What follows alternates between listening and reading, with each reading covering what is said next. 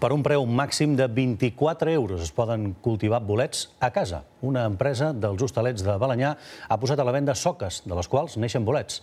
Garanteixen entre dues i sis floracions. La clientela que més els demana són, de moment, boletaires que s'han fet grans i que ja no estan en condicions per sortir al bosc com abans. No els afecta ni la sequera, ni el vent, ni les gelades. L'únic que necessiten és algú que se'n cuidi.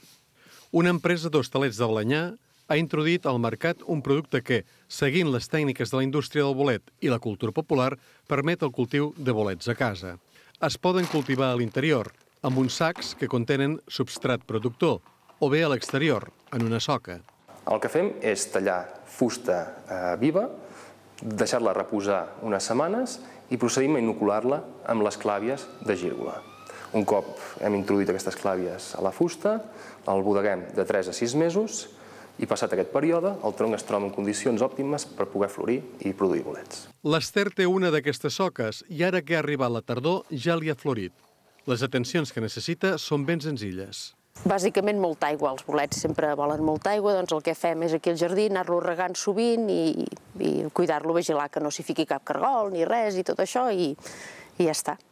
El fet de poder disposar de bolets frescos tot l'any, el cultiu ecològic i l'alta qualitat fan que aquest sistema interessi molt a les cuines dels millors restaurants. Crec que el bolet de soca, eh, que és un bolet ecològic i que té tots els seus sabors, textures i, i aromes integrats, ens permet tindre una regularitat a l'hora de poder disposar en cuina d'aquest bolet de qualitat.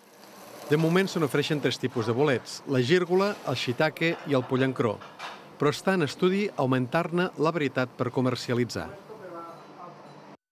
Cardedeu